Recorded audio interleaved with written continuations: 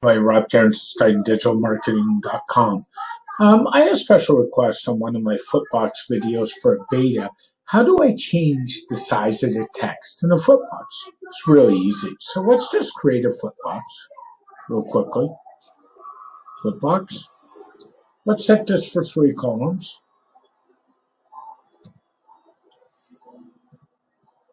And let's set it to equal heights. And this is the video that came out of the gentleman wanted to know how. So let's just add a couple. Let's go in here to first flip box.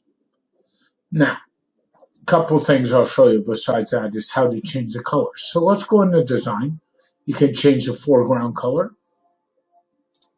And you can change the, put an image on the front side. You can change the heading color I typically will often use black and the text colors. This is where you do all that in design. Now, how you change to answer the gentleman's question, it's not under extras. This is just animation. Let's go back to general. And he wanted to know how you change the uh, text size. It's really easy. Enter the text. Highlight the text.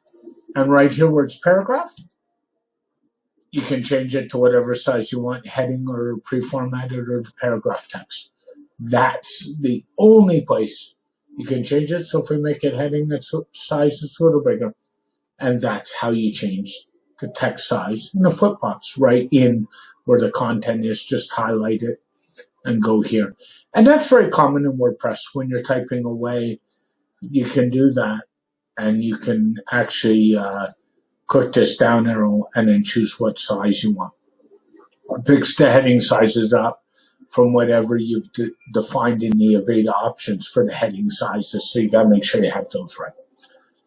So I hope that helps. Rob Cairns, stunningdigitalmarketing.com, how to change the text sizes in an Avada Footbox. Have a great day, everybody. Bye for now.